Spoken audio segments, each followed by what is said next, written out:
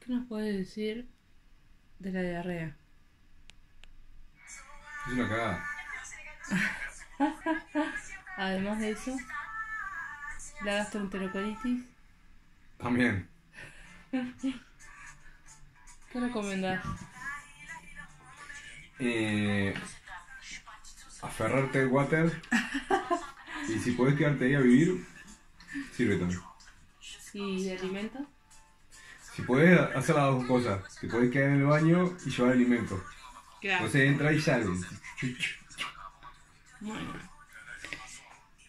Muy asqueroso todo. muy asqueroso todo. Y este estado de mi cabello así es por la gripe. La gripe.